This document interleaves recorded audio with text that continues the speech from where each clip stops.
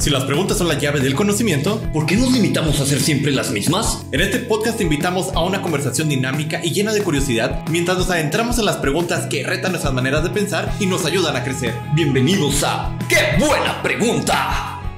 ¿Qué onda, mis queridos amigos? Todas las personas que nos siguen, super fans, gente bonita que sigue preguntones de qué buena pregunta. Hoy tenemos un invitado bien especial. Se preguntarán por qué estamos grabando hoy sin Alan. Y bueno, pues que ya lo corrimos a la fregada, ya, ya no queríamos que estuviera con nosotros en el podcast. Y ahora tenemos un invitado especialísimo que viene llegando desde algún lado del mundo. Con nosotros, el buen Alan. Hola, soy el reemplazo de Alan, mucho gusto. Ese güey me caga.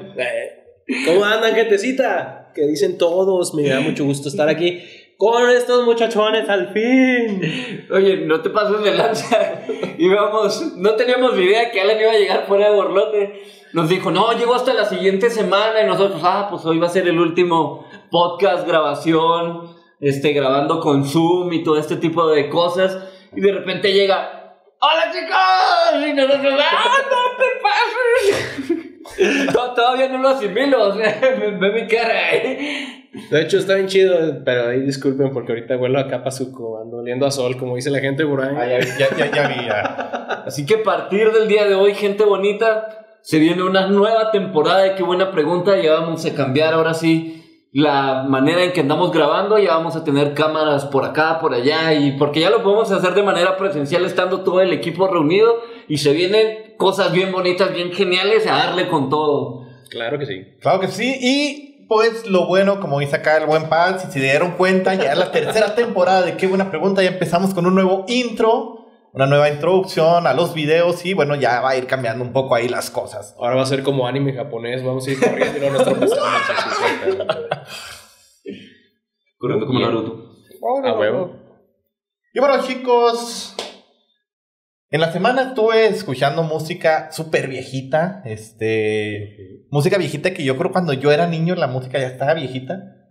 Y este, me llamó la atención una canción que me gustaba mucho allá cuando yo tenía como unos 7 años, 8 años, no me acuerdo, este, incluso tal vez menos. Y nada, que tan nacías. este, no, no, yo, yo recuerdo haberla escuchado en la radio. Y la canción dice algo así como, quisiera ser un microbito que habite en tu cuerpo Ay, para estar bien calientito casi todo el tiempo. Quisiera ser un microbito. pato, tu pato. Ay, bueno. Y bueno, la pregunta del día de hoy va al respecto de esto, al respecto de los microbitos que de repente habitan en nuestro cuerpo.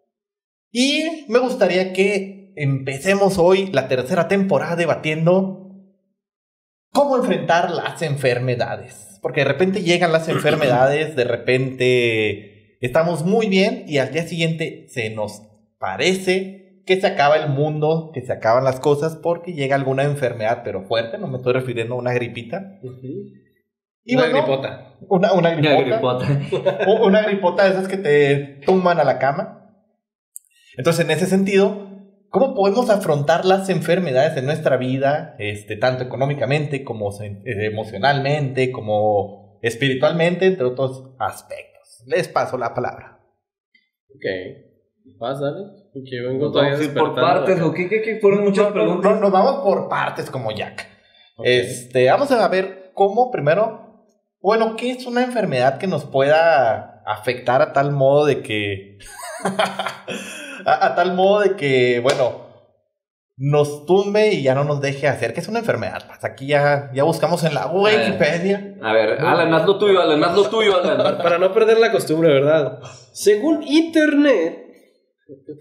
¿Cómo lo buscamos? bueno, dice: La enfermedad es considerada como cualquier estado donde haya un deterioro de la salud del organismo humano. Todas las enfermedades implican un debilitamiento del sistema natural de defensa del organismo o de aquellos que regulan el medio interno. O sea, se te mandan una chingada. Va en otras palabras. Así es. ¿Cuál era la pregunta? ¿Qué es una enfermedad? No, para, ya en tus palabras ahora sí.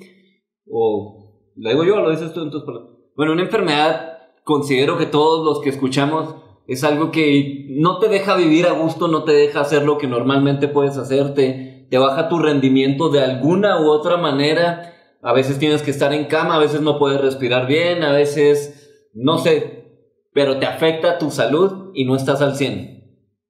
Esa es mi, mi manera de decirlo con mis palabras. ¿Ustedes cómo lo dirían? Sí, sí, sí, pues cualquier eh, cambio, ¿no? Que tienes en el cuerpo que te afecta, que funcione de manera La normal. adolescencia, ¿eh?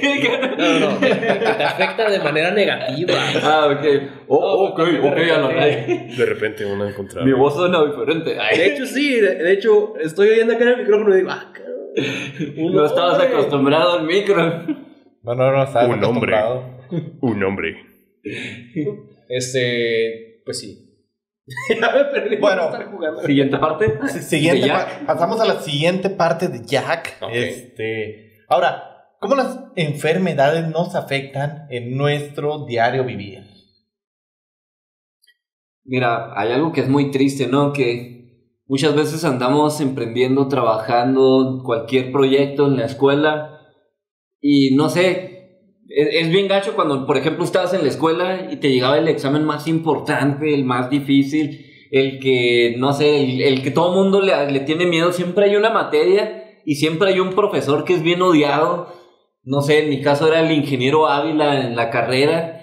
El ingeniero Ávila, todo el mundo le tenía miedo porque era, era un ingeniero, voy a decir un viejito, pero pues era una persona de muy grande edad, de esos que no se querían jubilar, aunque ya se pudieran jubilar desde hace mucho tiempo. Y, y era una persona tan grande y tan estudiada que no te lo, no te lo podías aturar con nada. Él lo sabía todo en cuanto a temas de ingeniería. Le preguntabas de ingeniería química, de ingeniería mecánica, de ingeniería civil, de ingeniería eléctrica y todo lo sabía. Y era así como, eh, profe, ¿por qué nos pone esto? No, es que se resuelve así y así y así.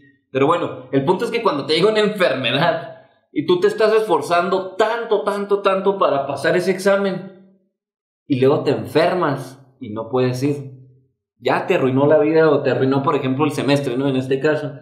Imagínate en el trabajo, pasa lo mismo. Te estás esforzando tanto, tanto para un proyecto que tienes que entregarle al cliente, que tienes que entregar ahí en la industria, te enfermas y no puedes ir a presentarlo o no puedes terminarlo, ya te arruinó un momento de tu vida, entonces te afecta bien cañón en toda tu vida profesional, más aparte todo lo que te va a afectar en que te vas a perder, no sé, la, la mejor fiesta de Navidad con tus amigos por andar enfermo, que te vas a perder este, no sé, el aniversario con tu novia porque anduviste enfermo y a lo mejor va a ir tu novia a cuidarte si te quiere mucho.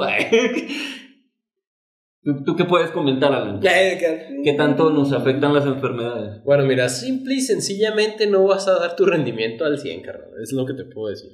Estando enfermo, este, puedes con toda la voluntad del mundo querer hacer las cosas, querer hacer todo al máximo si eres alguien que le gusta hacerlo, obviamente. Este, pero por más que te esfuerces, no puedes rendir igual, aunque quieras. Aunque quieras. Este, puedes hacer que se hagan las cosas, pero no vas a estar como que al 100 como normalmente lo harías, ¿no? De cierto modo te vas a cansar más, posiblemente pierdas concentración, eh, posiblemente te equivoques un poco más de lo normal, porque muchos de los recursos que normalmente tienes, hablando físicamente en tu persona, pues están enfocados, digamos, a que te estés recuperando o a que te estás sintiendo mal, o sea, y hace que no funciones igual. Entonces, así es como te afecta la enfermedad. Para empezar en ese lado físico, luego en el lado emocional también puede que te afecte, porque por lo mismo, como andas con todas las defensas bajas, te sientes débil, pues empiezas a lo mejor a andar acá como que más agüitado, ¿no? Como que se te bajan los ánimos, a veces algunos hasta se ponen ahí muy tristes, muy melancólicos. Y pues, ¿qué se define eso? En que tu rendimiento no es el mismo. O sea, a fin de cuentas vas a estar rindiendo menos. Y sobre todo que una persona cuando está muy enferma, ya vamos enfermedades de esas súper fuertes, no sé, un cáncer, un lupus, un tuberculosis, cosas así que son bien hardcore. Este, cuando estás en esos momentos, me han dicho, me han platicado personas que pasan por... El único que están pensando es, quiero curarme, quiero tener salud, no es así como que estés enfermo y puedas enfocarte, no sé, en, en en cumplir uno de tus sueños, que en ser bailarín, en, en emprender tu negocio, en visitar a tu familia, o sea, como que tu mente más, trata más bien de enfocarse de, vamos a hacer todo lo posible por salir de esto adelante y poder curarnos. De hecho, hay una frase que me, me molesta mucho de algunas personas que les preguntas, ¿cómo estás? Y te dicen, pues hay salud. Co- Como si tener salud fuera poca cosa, o sea, tener salud es algo del- que debería ser muy preciado porque De, de mí te vas a acordar cuando te tengan que operar de algo, que me ha pasado del apéndice, me ha pasado de, de hemorroides. Cuando te tienen que operar de algo y tienes que pasar una recuperación, entonces ahí sí valoras tu salud. De hecho, yo me acuerdo que yo hice un juramento conmigo mismo de, de a partir, cuando pasé mi recuperación de, de mi apéndice, dije, voy a aprovechar mi cuerpo de la mejor manera, lo voy a cuidar y voy a entrenar lo más que pueda para que esté una mejor salud. Ahí es cuando dices, no podía correr, no podía abrazar a mis amigas y cargarlas, no podía hacer mis actividades del taller en aquel entonces de torno, ya sé, son cosas medio raras, ¿verdad? O sea, pero había muchas cosas que yo veía a mis amigos que hacían y yo no las podía hacer. Y ahí es cuando valoras y dices, no manches, valoro cada Voy a minuto a mi salud. Es que nosotros éramos bien cariñosos en el TEC y cargábamos, o sea, hacíamos un abrazo Está bien. como en las películas y luego dábamos una vuelta, ¿no? Y ya después, después de que me operaron, pues ya nomás veía a Cristian, o a, mi- a Mario, a Tibo, a Frijol, a mis amigos del Cebetis. Eh, Un saludo a todos ellos, al buen Jera, a Dan, que le decíamos el robot, porque nunca lo veíamos que fuera al baño. Entonces decíamos que era un robot y nunca lo veíamos comer. Entonces, no, no, esto no es normal. Pero bueno, volviendo al punto, eso es lo que yo pienso de las personas que dicen, pues hay salud. Ahora sí Valora la salud. Ahora sí que es una de las cosas que dices que no sabes lo que tienes hasta que lo pierdes, ¿no? Sí, exacto. Como fácil y sencillamente lo podríamos resumir. Y fíjense que estaba pensando precisamente en este tema porque últimamente como que me ha tocado eh, toparme con gente que tenía muy buena salud y que de repente de la noche a la mañana este, sufrieron algún microinfarto o que de repente eh, les pasó algo, este, se fregaron la rodilla como todos los buenos mexicanos, el evento canónico de los mexicanos. De, de todos los treintones, De dirás. todos los treintones. que ya te levantas y te cruje la rodilla. ¿Te? Eh. Pero bueno, me he topado con este tipo de personas y de repente gente muy emprendedora que no tiene un trabajo fijo o algo por el estilo, se le acaba el mundo porque, bueno, era, dependía de estarse moviendo, dependía de poder salir, hacer sus negocios y demás. Llega la enfermedad y vale eh, queso todo. Y este, se enfrenta a situaciones así bien fuertes. Precisamente hoy en la mañana iba al gimnasio y me topé con un señor que iba con un bastón, este, una persona ciega. Levantar las pesas con el bastón. No, no, no, una persona ciega, este, pero me llamó mucho la atención que iba por media calle, o sea, literalmente por media calle en una de las avenidas más transitadas. Entonces fue como, eh, compa, vénganse para acá porque lo pueden atropellar. Y ella me dijo, no, pues es que apenas me quedé ciego, este, apenas tengo unas semanas de, estar ciego, no me acostumbro, por eso ni siquiera traía el bastón típico de una persona invidente. Y decía, pues ando tratando de buscar apoyo, este, porque pues no, o sea, se me fue mi trabajo, se me acabó todo porque precisamente me quedé invidente fue como, ay, caray. Entonces sí me quedé pensando, este, cómo nos afecta a veces la enfermedad, cómo a veces llega de la nada. Y aquí va la segunda pregunta del día de hoy, la pregunta, segunda pregunta del tema es, bueno, llega la enfermedad, ¿cómo la podemos afrontar o cómo podemos ayudar a las personas? Digo, creo que nos ha tocado en algunos casos estar con personas que tienen alguna enfermedad, ya sea un cáncer, ya sea este, alguna enfermedad muy grave, este, algún diabetes, algo por el estilo. ¿Cómo podemos ayudar a esas personas y cómo podemos enfrentar nosotros mismos? Son dos preguntas implícitas en una, entonces las dividimos. Ayudar y enfrentar. Mira, antes de pasar a esa parte, voy a decir algo que a lo mejor le va a doler a mucha gente, pero una enfermedad no es una causa, es una consecuencia. Hay que estar de acuerdo en esto que la enfermedad no llegó como mágicamente por generación espontánea y esto del otro. Si tu cuerpo no estaba preparado, si te andabas mal pasando, si andabas mal comiendo, si andabas desvelándote, si no le diste esa atención al cuerpo, el cuerpo te va dando señales y te va diciendo, atención, aquí estoy, cuídame, este, hay un dolorcito para aquí, para que me escuches, escucha tu cuerpo. Ya cuando dejamos pasar mucho del lado de estas llamadas de atención que el mismo cuerpo nos hace, ya nos llegan enfermedades muy graves.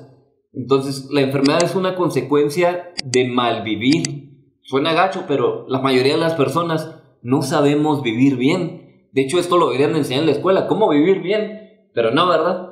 Pero bueno, la pregunta realmente es cuando llegas al punto en el que la enfermedad ya te llegó, ¿cómo lo enfrentas?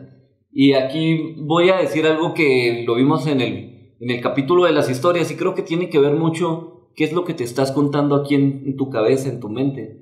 O sea, si tú te cuentas, ah, ya se me arruinó la vida, ya no puedo ver, ya no puedo hacer nada porque no puedo ver.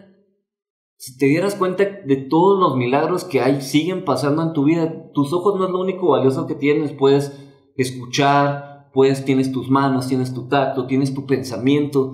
O sea, he visto miles de personas que pierden alguna de sus capacidades físicas y las, las rompen y las sacan adelante, incluso les va mejor económicamente que a mí o que a muchas personas, hacen dando conferencias, escribiendo libros, ayudando a otras personas. Entonces, tiene que ver mucho con qué historia te cuentas.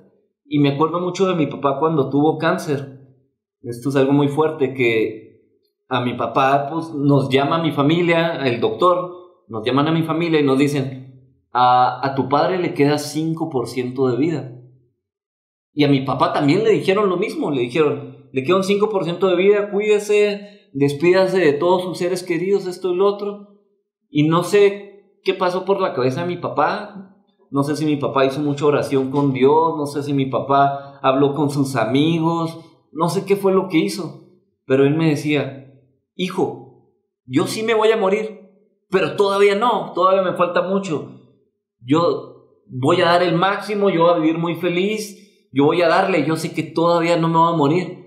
Y después de que nos dijeron le queda 5% de vida, todavía nos duró como unos 5 o 7 años, no me acuerdo cuánto. Pero hasta el doctor se quedaba así como, es que no entiendo. Aquí en sus estudios médicos dice que, que no debería poder levantarse, no debería poder salir de la cama. Y tu papá, su esposo, señora, está yendo al trabajar normalmente y va a, dar clases, va a dar clases a la universidad como si nada. ¿Cómo le hace? ¿Cómo lo sigue haciendo? Tiene que ver mucho con lo que te cuentas arriba, con tu mentalidad y cómo lo llevas aquí en, pues, emocionalmente. Bueno, ya, ya me robé mucho el micrófono, cedo la palabra a Alan. No, está bien, se vale, se vale. Es- es- son comentarios muy importantes. que- Ah, hoy, hoy no tenemos problema, no solo nos va a cortar el Zoom, así que podemos robarnos el micrófono. Antes de que te los vayas, Alan, Ahora sí te lo puedes ya no te los comer quieras. leer, bro. Ahora sí te lo puedes comer todo lo que quieras, güey. Oye, este. Híjole, pues sí, sí está, está fuerte la pregunta. Porque, pues.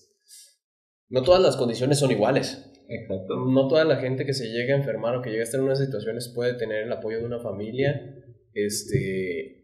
E igual a lo mejor no sabes qué condiciones tenga con, los, con las relaciones, no solo la familia, sino con sus con su círculo de relaciones más cercano, ¿no? Que pudiera ser el punto de apoyo. Yo creo que algo muy importante es que sí, por ejemplo, como parte de lo que nos compartió pasa ahorita, es de que la gente se sienta acompañada y apoyada.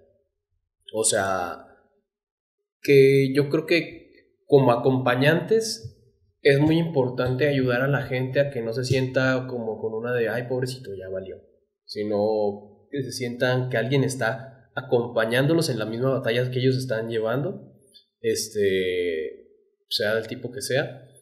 Eh, también depende mucho de la perspectiva que esté tomando la persona, justamente como mencionaba Paz.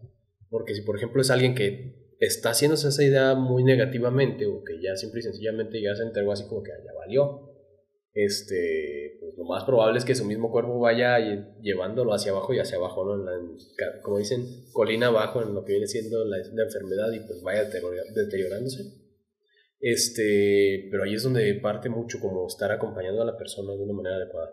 Estar transmitiéndole apoyo, estar transmitiéndole amor, este, que, que realmente sienta una motivación más, ¿no? Que le ayude para estar fuerte, al menos emocionalmente, que eso sí, sí, quieran que no, este, sí, sí influye mucho. Creo que está hasta demostrado de que las personas cuando se deprimen, todo el sistema inmune también baja, o sea, todo lo que son las defensas del cuerpo tienden a bajar y tienden a enfermarse más rápido. Entonces, cuando ayudas a que la persona tenga un mejor estado de ánimo, un acompañamiento, puede que lo ayudes a que también mejore un poco su condición. No estoy diciendo que se vaya a curar ni mucho menos, pero lo que es la parte del acompañamiento en, en, eso, en ese modo como más positivo, ayudándole para que se sienta mejor, sí debe de influir bastante, creo yo, para, para lo que viene siendo el proceso de la enfermedad. Y... ¿Qué más? ¿Cuál era la otra pregunta, Manny? Perdón. ¿Cómo podemos ayudar y cómo enfrentar nosotros mismos una enfermedad? ¿Cómo enfrentarla nosotros mismos? Ah, esa sí está, esa sí está buena. Porque, mm, pues, ahora sí que es mucho, mucho tener fortaleza mental, ¿no? Yo creo. O sea, realmente la voluntad y las ganas de querer salir adelante, el estar abierto a querer seguirle echando ganas.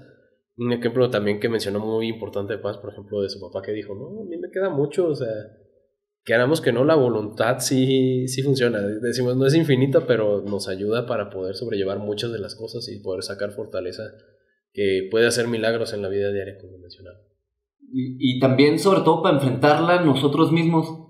Es como esa responsabilidad de voy a tomar cartas en el asunto y voy a buscar todas las alternativas posibles, voy a buscar toda la información posible para sacarla adelante. Y muchas veces, aquí es, esto es algo me- medio raro, medio común, pero muchas personas no se curan por vergüenza. me, van a, me van a decir, ¿cómo que por vergüenza, Paz?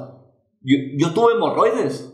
Y las hemorroides están acá atrás en el ano y, y todo el mundo le da miedo ir al proctólogo y esas cosas. Y dicen, ay no, mejor voy y me checo cuando ya esté bien seguro de que, de que sí me está doliendo. Voy y me checo cuando, en lugar de ir rápidamente al proctólogo, rápidamente. O he tenido amigos también que han pasado, que tienen muchas parejas sexuales y luego, ay, me salió algo aquí, me da comezón, pero no, no, me voy a ir a checar hasta después de un largo tiempo, cuando ya esté seguro, y pues ya la enfermedad ya pasó mucho tiempo, ya creció, ya es más difícil curarla. Entonces, dale lo más rápido posible cartas al asunto, ser responsable de tu vida. Si te dicen, este, tiene problemas del corazón, lo, lo más conveniente es que cambie su dieta y coma saludable y que haya ejercicio. Hazlo. ¿Por qué no hacerlo? Es tu vida.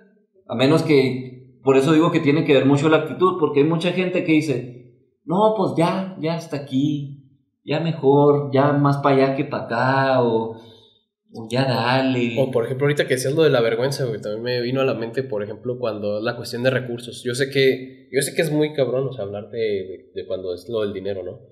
Pero creo que si podemos buscar dinero para muchas otras cosas, estás hablando de sobrevivir o no, o sea, buscar alternativas. eh, me ha tocado muchos casos que, como decimos, nada seguro, hablando de enfermedades, igual a- en un momento puede que te gane por X o Y factor de la enfermedad, de la naturaleza de la enfermedad misma, pero el hecho de que la gente batalle, que, o sea, batalle como batalla, no como de, de dificultad o así por el estilo, sino que le quiera entrar así a, a- a luchar por, por poder curarse, este, buscar alternativas, o sea, hay cuánta gente no hay que, por ejemplo, busca el cómo hacer una rifa con los amigos, cómo este, buscar acciones de beneficencia, hay gentes que hacen los, ¿cómo se llaman estos? Los, los funding de, de Sí. internet o así por el estilo, campañas o de una manera u otra buscan cómo poder apoyar, este, que es parte de lo que decíamos ahorita del cómo acompañar, también poder apoyar a la gente que tiene este tipo de necesidades para poder curarse o para poder combatir una enfermedad, es una manera en la que no directamente, a lo mejor puede ser alguien que no sea de nuestra relación o de nuestro círculo cercano, pero que podemos ayudar, a veces con, por ejemplo, rifas que hacen de comprar un boleto, a lo mejor no te lo ganas, o pero por el hecho de apoyar con algo que a lo mejor a nosotros no nos cuesta muchísimo, que pero para la otra persona puede significar una cuestión de vida o muerte. Entonces, este, es buscar alternativas, buscar alternativas, este, y no sentirse así como que, por ejemplo, el, ay, es que estoy dando puras molestias, ¿no? O sea, ¿qué prefieres? ¿Que te dé vergüenza dar molestias o ya lanzarte al otro patio? O sea, está, está muy difícil, ¿verdad? Decirlo porque cada historia es distinta, pero yo creo que eso, o sea, buscar siempre alternativas, siempre puede haber algo más que, que hacer.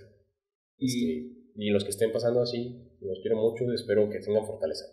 y económicamente también decirles, ámense ustedes mismos más que a todo lo demás, o sea, porque muchas veces necesito una operación que cuesta 15 mil pesos y no tengo dinero, pero ahí tienes una pantalla de 10 mil pesos y a lo mejor un Xbox, un PlayStation, tienes, puedes vender ciertas cosas que tienes, que a lo mejor dices, las quiero mucho, les tengo mucho apego, pero tú eres más importante que eso, o sea, es tu vida. Ya después vas a hacer más dinero y lo vuelves a conseguir, le das la vuelta a la hoja, pero toma las cartas del asunto en tu salud lo más rápido posible, ámate y pues ya después le das la vuelta. Obviamente con, cuando tienes apoyo de familia, de amigos, pues haces este tipo de kermeses, donaciones, todo este tipo de rollos. Busca todo lo de manera posible. Así se enfrenta con una buena actitud y a darle con todo. Los bienes son para resolver los males, carnal. De hecho. Oye, qué buena, este, qué buena frase esa. Resume bastante la idea. Fíjense que a mí me ha tocado estar conviviendo con ambas personas, con las personas que dicen, yo no me voy a dar por vencido, yo voy a, dar lo mejor de mí, yo voy a estar siempre como que en ese mood de, no me voy a dar por vencido hasta el último momento y voy a luchar hasta el último momento y me he topado con gente que dice, ah, este, llegó la enfermedad, pues, pues ya, o sea, ya para qué lucho, ya, ya luché mucho, ya fue algo muy doloroso y simplemente ya me rendí. Este, lamentablemente me tocó estar así muy cerca con una persona que quería muchísimo, que híjole, sufrió durante todo un año en cama y después de ese año ya su, su estado de ánimo era, pues ya, ya no quiero dar más este, de mí, ya lo que quiero es descansar, lo que quiero es. Eh, ahorita ya está ya en el cielo, este, mi, mi tía. Y sí fue como ir viendo el cómo iba deteriorándose su salud, cómo iba este, perdiendo ahí un poco esas esperanzas, esas ganas, aunque tratamos de ayudarla mucho. Y tratamos de darle mucho apoyo en cuanto a busca alternativas, busca opciones. Este, ella sufrió cáncer y luego después del cáncer eh, lo logró librar, pero como que le afectó demasiado la columna, quedó paralítica. Entonces durante todo un año estuvo en cama. Y sí fue algo un poco difícil el, verla, el ver este, cómo fue bajando ahí un poco. Entonces, en ese sentido, yo creo que también parte de esto es hacernos presentes siempre, estar tratando de ayudar a estas personas a que logren sentirse queridas, que logren sentirse amadas, que sepan que no son una carga para los que están ahí alrededor, sino que son alguien muy importante, alguien que quisiéramos tener todavía este, a nuestro lado.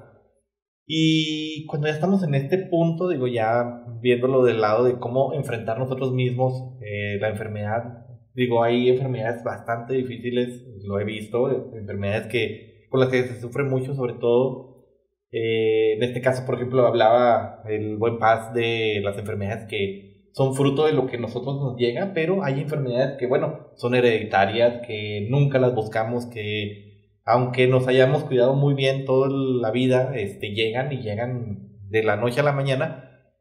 Y siento que parte de todo esto es tener siempre esa actitud positiva, esa actitud de lo voy a lograr, este, y aunque a veces la batalla va a ser exageradamente difícil, aunque a veces va a ser muy complicado, va a doler, eh, se va a pasar por muchísimo dolor físico, espiritual, emocional, aún así no tener este esas ganas de darse por vencido, sino darlo todo hasta el último momento.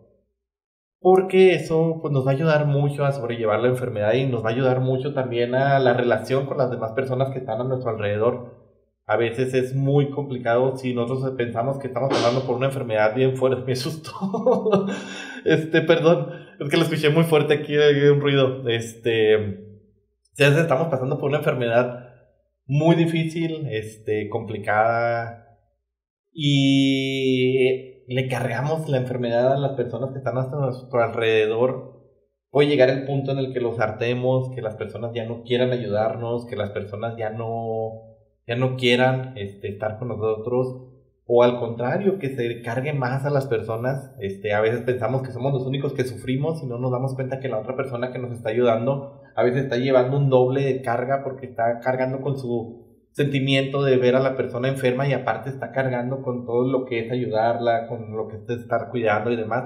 Entonces tratar de llevar siempre esta química, esta positividad y buscar todas las alternativas, como bien dicen acá mis dos queridísimos amigos, em, buscar todos los medios para poder conseguir este, los recursos, para poder conseguir las ayudas, para poder lograr el salir adelante, el vencer la enfermedad y ser un ejemplo más para todas las personas. Y si ya lo logramos, hay muchísimas personas que dicen, no, híjole, yo tuve X enfermedad y hago ahora una este, fundación que ayude a las personas, o tuve una un familiar que falleció por X cosa y ahora quiero hacer una fundación para ayudar.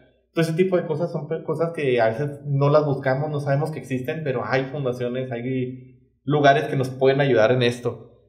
Eh, para ir cerrando un poco, para no perder la costumbre de, del episodio más o menos en el tiempo, ahora este, me gustaría, pues bueno, ya vimos todo eso, ahora en el aspecto económico, eh, ya más o menos hablaban un poco al respecto de, de esto, pero en el aspecto económico, cuando llega una enfermedad, ¿cómo puedo sobrellevar? Ahora, si ya tenía un cierto ritmo de vida o si apenas estaba despegando, ¿cómo puedo eh, como que tener ese equilibrio entre enfermedad y aspectos económicos?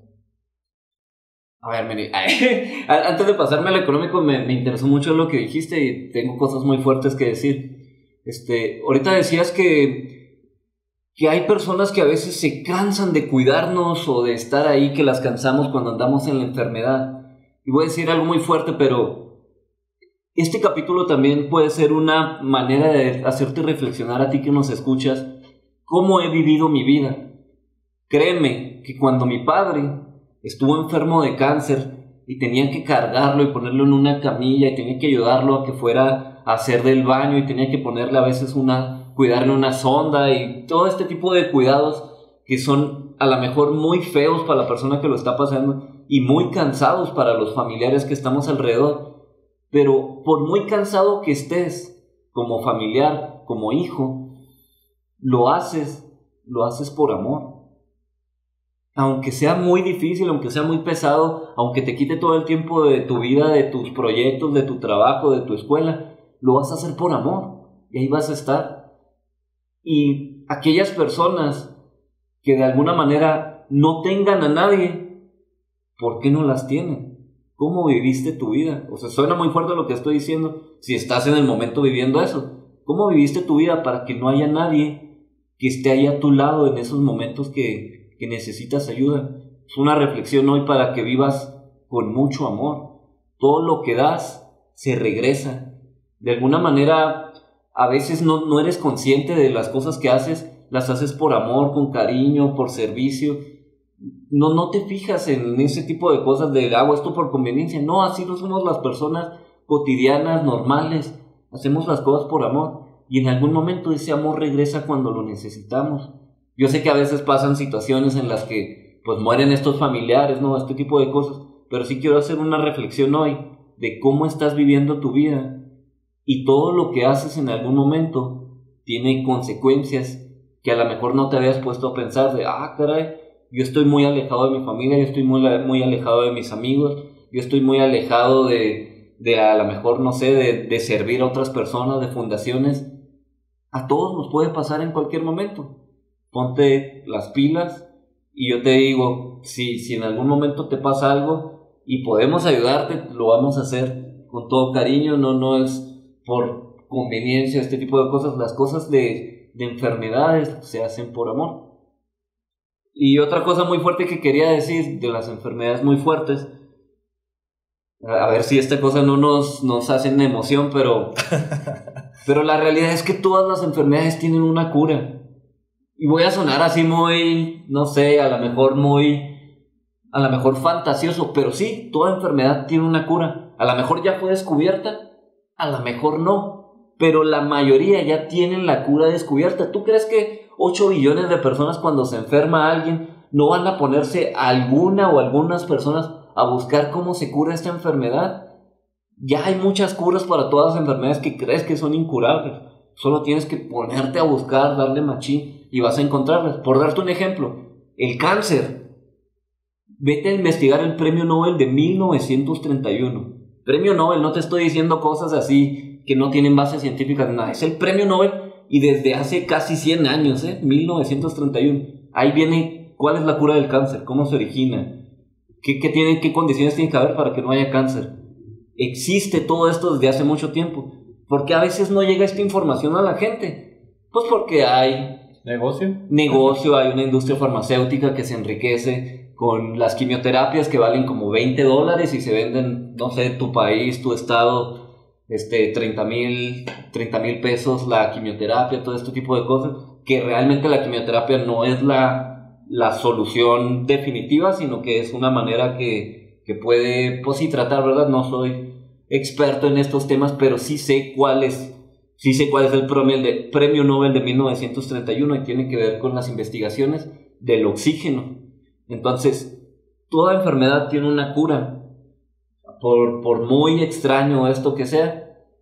Y a lo mejor si tú te mueves, investigas esto, le das a lo mejor por cosas alternativas, en algún punto vas a llegar a ella. Y si no llegas a ella, pues, pues está cañón, ¿verdad? Pero era algo muy fuerte que quería decir. Y ahora sí le paso a Alan la pregunta con todo lo económico.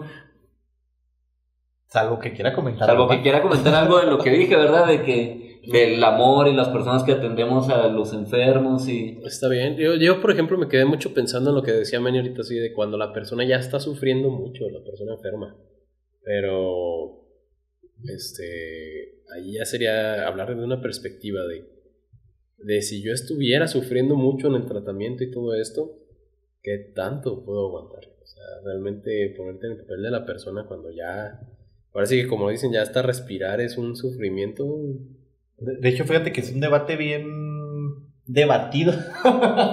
Bien cañón. Es es un debate bien cañón en el mundo, este, precisamente ese tema. O sea, nos daría como para otros dos episodios o más, este, hablar específicamente de eso.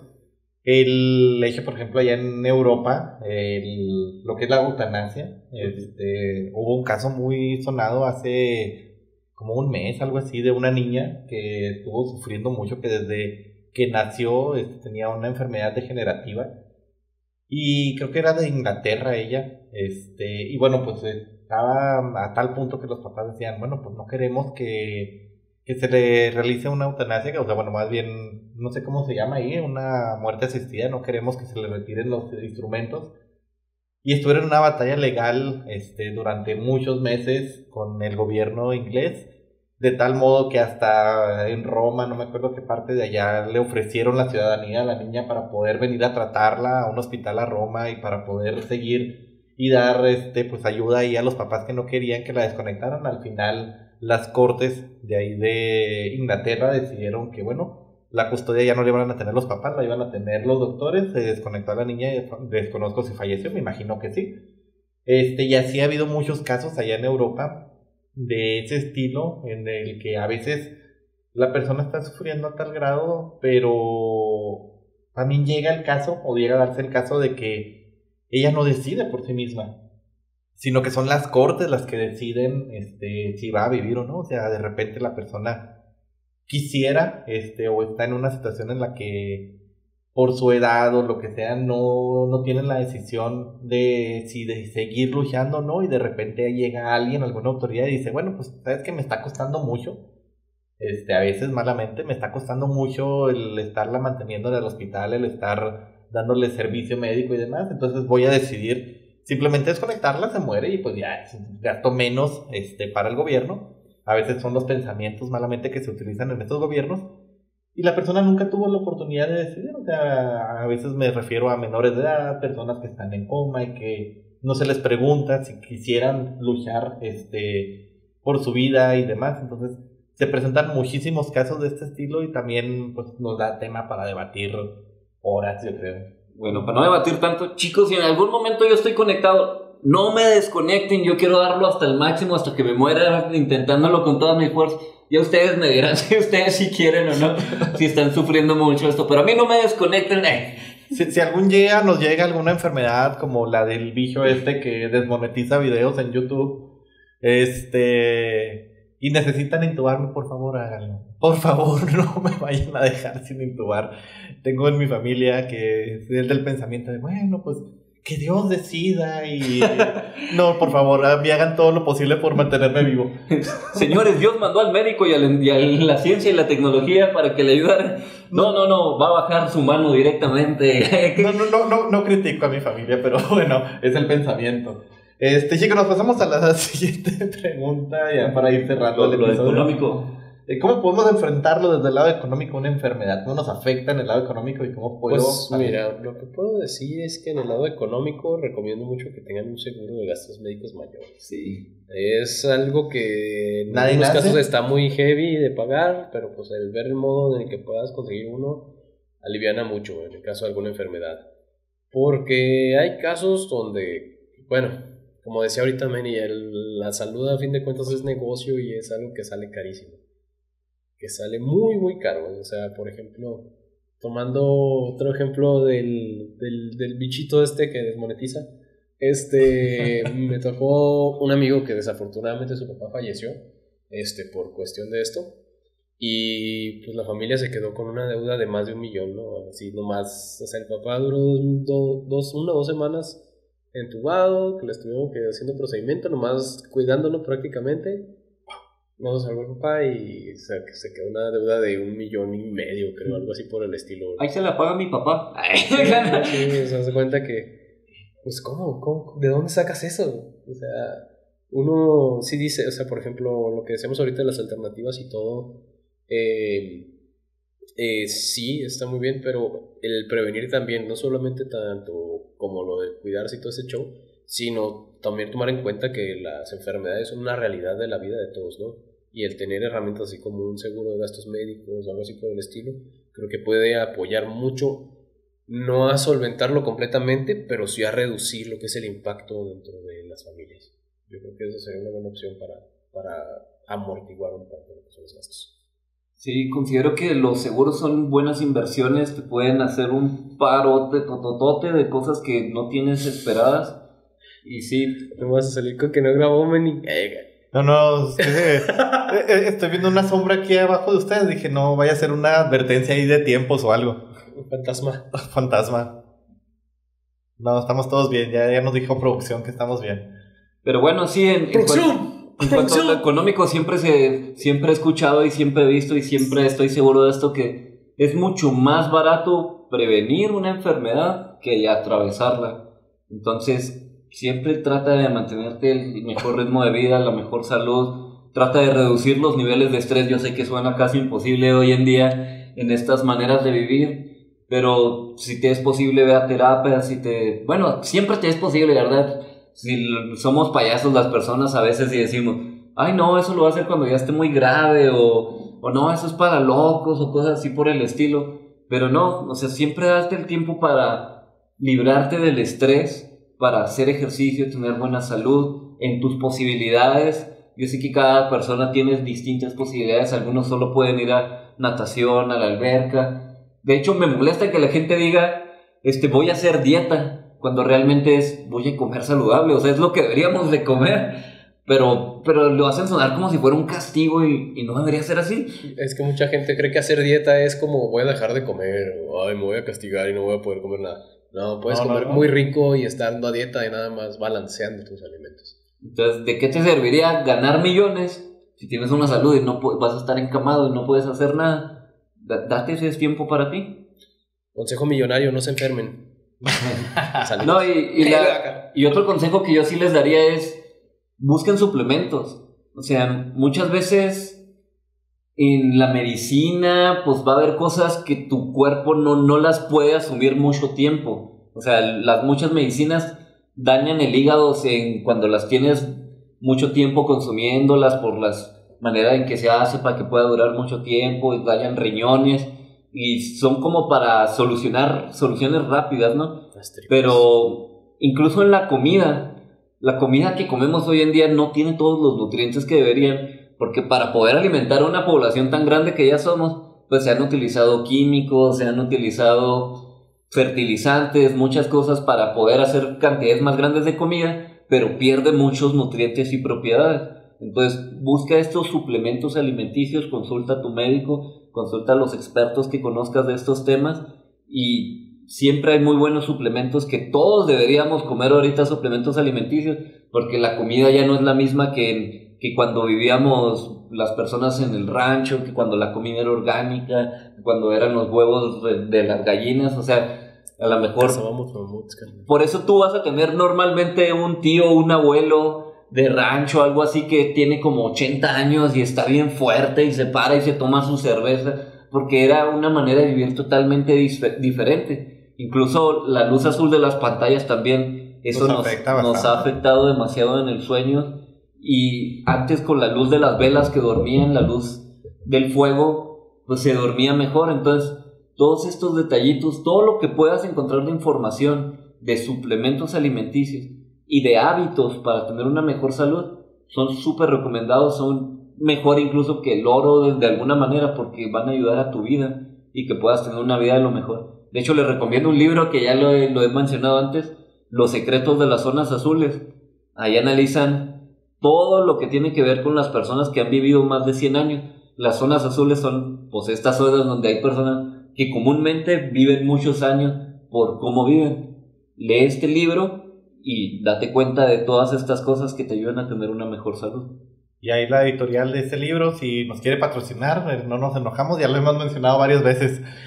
Eh, y bueno, yo terminaría este, con un último consejo. También, bueno, ya mencionaron los seguros de gastos mayores, también recomendaría los seguros de vida. A veces pensamos que, que no nos van a ayudar, que de qué tenemos, de qué nos sirve estar pagando un seguro de vida, lo que sea, pero nunca sabemos si de la noche a la mañana ya no vamos a estar.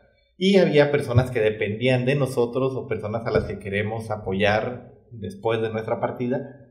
Y bueno, pues son una muy buena ayuda. Este, también, pues ya como, recomendación también a su familia, pues dejen una buena educación financiera porque de repente reciben cantidades grandes con estos seguros de vida y luego lo invierten en aras y ahí quedó. Entonces, bueno, este, un saludo a todos los chihuahuenses. Eh, vamos terminando, chicos. ¿Algún consejo que quieran dar o simplemente pasamos a redes sociales? Pues mensajito como lo que mencionaba ahorita, amigos, familiares, lo que sean. Si están pasando ahorita por una situación de enfermedad o sí, les deseo fortaleza, les deseo que llegue solución, que llegue salud para sus familiares o para sus seres queridos que puedan estar en esta situación. Y pues bendiciones para ustedes. Los quiero. Consejos, yo les diría también que si en algún momento quieren mandarnos mensaje, utilizar, preguntarnos qué suplementos utilizamos nosotros, pueden hacerlo, mándenos allá, qué buena pregunta, o en nuestras redes sociales personales. En lo personal conocemos muchas cosas muy buenas que nos han ayudado y hemos visto personas que se han curado de cosas que creíamos incurables a lo largo de, este tiempo. De hecho, muy personalmente me van a decir, David, este, ¿tú por qué nos dices lo del premio Nobel de 1931? Y les digo, malamente lo descubrí por mi papá, pero después de que se fuera. Me hubiera gustado tener este tipo de información antes y haber podido prevenir o haber podido ayudar a mi padre a curarse ahora que conozco un poco más del tema y cómo poder solucionar este tipo de cosas. Y pues sí es muy pesado y triste de alguna manera hablar de esto, pero después de que mi padre vivió esto y que emprendí y aprendí de estos temas, me ha tocado poder ayudar a muchas personas en estos temas y evitar que pasen lo que yo pasé. Y esto es una motivación muy grande por la cual pues he aprendido y me he movido un poco en estos temas de salud.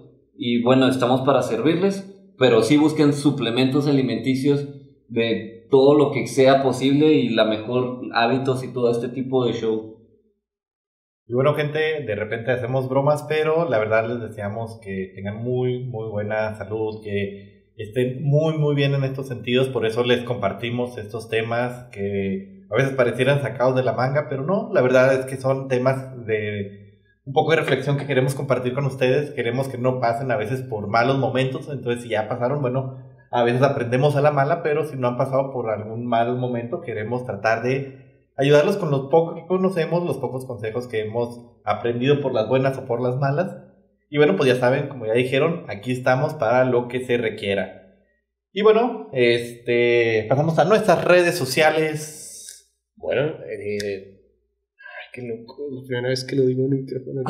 bueno, lo había dicho cuando estábamos antes en la primera temporada, pero con mi micro bonito. redes sociales, ahí punto Chavimón, tu amigo Nacho. Chicos, aquí estamos para servirles. Por ustedes estamos aquí, los queremos mucho mensajes, sugerencias, comentarios, ahí estamos. ¿Se viene tu nuevo proyecto? ¿Cuál es la red social de tu proyecto? Pues va a estar dentro de las mismas redes, pero próximamente les paso el canal de YouTube. Eso es todo. Bueno, a mí ya se, me encuentran como David Paz, Paz de CP en todas las redes sociales. Ya, se las saben, TikTok, Instagram, Twitter, Threads, Facebook, no sé qué más hay ahí. Y bueno, un mensaje, una pregunta, cualquier cosa que quieran hacerme, ahí estamos para servirle. Y bueno, la música de nuestra banda Carga Positiva, andamos planeando todo para el 2024, darle con todo el kilo del mundo. para potenciar todas las redes sociales y sacar más música. De hecho, ahí tenemos varias canciones guardadas, ya grabadas en el estudio, otras por grabar, pero pues este sueño no lo vamos a soltar y lo hacemos también para ayudarles que en, en su música pueda alegrarles el día, cambiar esas historias, a lo mejor que fueron trágicas o tristes, y darles un nuevo sentido para reventarla, carga positiva a todas las plataformas de música. Y en las redes sociales del negocio, paxcompany.com y todas las redes sociales de Pax Company. Gracias a todos por todo lo que nos han comprado y seguimos dándole por, por Mercado Libre y por toda la tienda virtual y todo, ya se lo saben. Y bueno, ya se la saben, a mí me encuentran como Meni05J en todos lados. En Facebook, síganme, no tengo seguidores ahí, es la red nueva que ya recuperé. Eh, se me fue lo que iba a decir. Ah, mis redes sociales del negocio Fly in Freedom. Y se vienen, espero, para el año que entra. Son los propósitos de Año Nuevo. Este, ustedes ya lo estarán viendo el siguiente año, ¿verdad? Pero son mis propósitos de Año Nuevo. El iniciar con dos nuevos proyectos. Uno relacionado con la comida, la tragazón y todo eso. Y la mentira del amor, que pues, próximamente estaremos abriendo redes sociales de eso.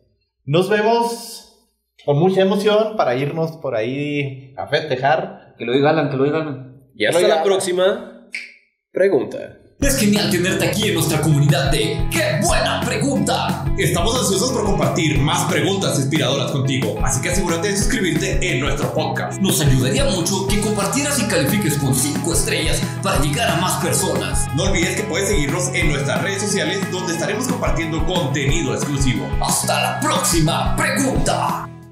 Hoy tenemos invitado especial. ¡Qué tranza!